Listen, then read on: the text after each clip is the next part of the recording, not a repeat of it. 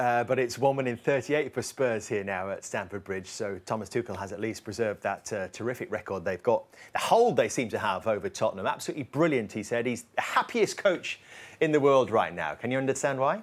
Yeah, I thought they were brilliant, Chelsea, for large periods of the game. But it, just that one final piece is that number nine. They've tried and tried time and time again, and it is a boring story, but they've executed everything right. He said fluid, they were fluid in ch chopping and changing formations, entries into the final third but haven't done enough to kill off the game. Do you think they win the game with a, a nine? Yeah, 100%. The first 30 minutes was crosses going in left, right and centre. Didn't have a, a, number nine in there. Sterling wasn't quite in the areas, but he's not the answer for me. He's great to this team and he will add goals, but he's not what they need and they need a striker. What sort of player are we talking about, Karen? Because they've obviously let Werner go back to mm. Germany. Lukaku was here last year.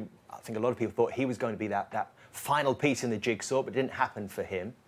I mean, I don't. The two best strikers have gone to the other two teams, haven't they? The, the, the number nine, Haaland and Nunez, that was available. But it might have to be someone that's tried and tested in the Premier League. I know Lukaku was here previously, but didn't really do it at United.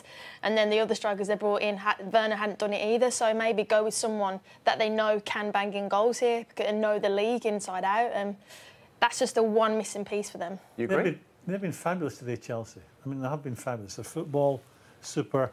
They've had three shots on goal the score with two, and Lloris has made one save. For all their fabulous football, they should be having more than three shots at the goal. What's your take on it? Yeah, I mean, Thomas Tuchel knows that. That's why he bought Lukaku last season, but Lukaku just wasn't the right fit because the way Chelsea played in that first 30, well, certainly the whole of the first half, the intensity, how quick they were with the ball, I'm not sure they could have played that well with Lukaku because that's one of the reasons why they've had to move him on because he just basically stood up front. You know, and, and oh, that's we, unfair stood up front.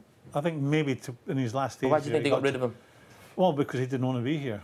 He felt he was changing the but system. But he didn't do enough to be a great. You can't he didn't want to be because he wasn't good enough. Still. Lukaku's, a, a, when he's at it, he's as good as anyone as a number nine. Yeah, but Graeme, you've just said it yourself, when he's at it. Yeah, and that, that's, a, that's a problem. That is that's, problem. why he's gone. That's what but I'm saying. He felt, he, he felt he was being, they weren't playing to his strengths. But I don't think you can turn around and say that Lukaku stood still, stand still. I, I, don't about... think he works hard enough for Lukaku. I think that's one of the reasons why. Well, he's, he's not here, so uh, there's talk now of Aubameyang. Might that work? Yeah, what's he about? Aubameyang 32, 32, 33. He knows him from from his time at Dortmund. Dortmund.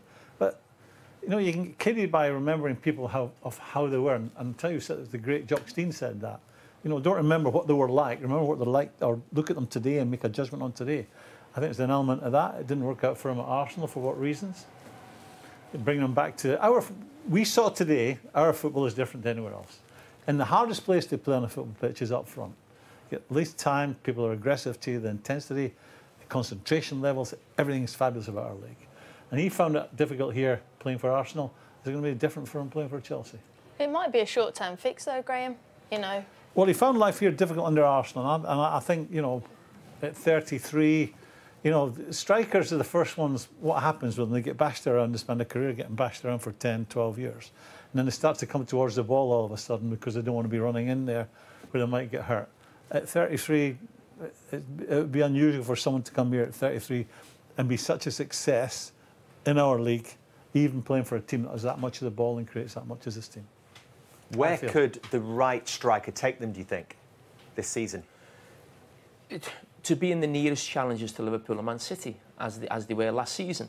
Uh, I think what they've done today, and I, and I mentioned this before the game, I felt they'd have a, a point to prove. because There's been so much talk of Tottenham this season. And I think Tottenham coming away today, it's a great point for them. But I think in their minds, they'll think, still another level for us to go to, to almost get where Chelsea or City and Liverpool are and really challenge them. But yeah, I, I think I think I think they're close. I still think they're going to do a lot of business between now and the end of the window, so it's difficult to judge where they'll be. But I wouldn't be surprised if a striker comes in, Aubameyang and another midfield player. You agree? Yeah, I do. I think he's, a, he's an answer for a short-term fix, and I think he's perfect. Worked with a manager, been in the league, and yeah, I think he's got a point to prove given where he's previously been.